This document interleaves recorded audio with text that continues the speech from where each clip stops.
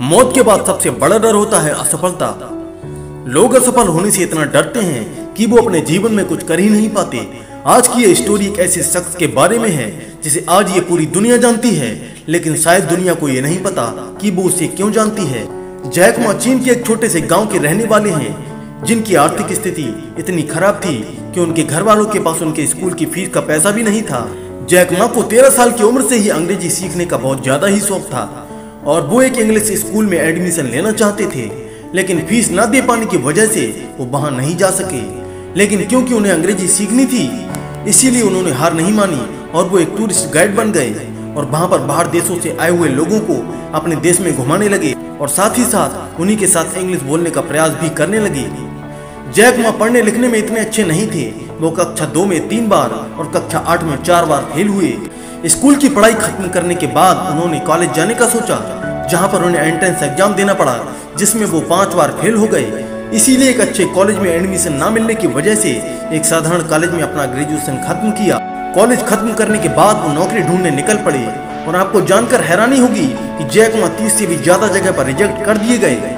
उसी समय के चीन आया हुआ था, जहाँ 24 लोग इंटरव्यू देने के लिए गए थे, जिसमें 23 लोगों का सिलेक्शन हो गया और केवल एक आदमी का सिलेक्शन नहीं हुआ। वो कोई और नहीं, बल्कि जैकमा थे। इतनी सारी असफलताओं के बाद भी जैकमा ने हार नहीं मानी और आगे बढ़ते गए और उन्हें एक कॉलेज में नौकरी मिली, जहाँ पर उन्होंने 9 साल तक बच्चों को पढ़ाया। एक बार जैकमा अपने अमेरिकन दोस्त के साथ अमेरिका गए और वहाँ उन्होंने पहली बार इंटरनेट इस्तेमाल किया। उन्होंने इससे पहले इंटरनेट का कभी इस्तेमाल नहीं किया था। और वो इंटरनेट पर चीन के बारे में खोजने लगे, लेकिन उनको चीन के बारे में कुछ भी पता नहीं चला और उन्होंने सोचा कि क्यों ना एक वेबसाइट बनाई जाए। जहाँ पर मैं चीन के बारे में सब कुछ रख सकूँ। लेकिन चीन से फंडिंग न मिलने की वजह से यहाँ पर भी उन्हें असफलता का सामना करना पड़ा। लेकिन इंटरनेट के बढ़ते दौर को देखकर, वो अमेरिका से एक ई कॉमर्स बिज़नेस का आइडिया लेकर आए।